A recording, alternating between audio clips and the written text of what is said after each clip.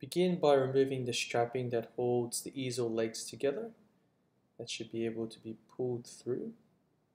And then proceed to extend the easel by pulling up the midsection whilst holding onto the legs and drawing them down as you just saw. And now each of the legs have a portion that can extend further. Just make sure that they're loose first and pull them out as far as possible, making sure that you tighten each of those inner extensions as you move them down.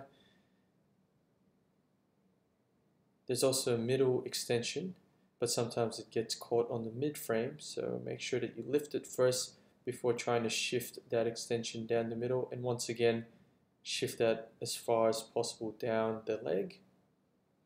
And now on the sides, you'll notice there are two uh, knobs to tighten. Make sure that they're as tight as possible.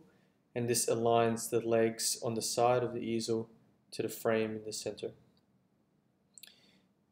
Now proceed to move down the braces that will be at the bottom that hold the easel from the bottom and make sure that those are loose before shifting them down as far the leg as possible.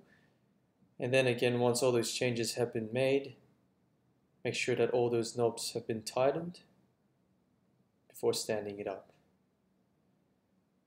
When standing it up, the middle leg should be at the back, supporting the back of the easel, whilst the left and the right legs uh, should be at the front of the easel, supporting it from the front. And make some adjustments as you see fit, just to make sure that the easel is balanced. you want to make sure that that midsection, that mid frame, is set as close to vertical as possible. And the reason we do this is so that the easel doesn't actually hit the back of the canvas. Now when you're putting the canvas on top of the easel, you'll need to tighten those two knobs again so that the easel doesn't actually shift because of the weight. And again, we've set it close to vertical so it doesn't hit the back of the canvas. On the top, you want to loosen that brace and then make it flush with the easel. Once it's flush to tighten that as far as possible.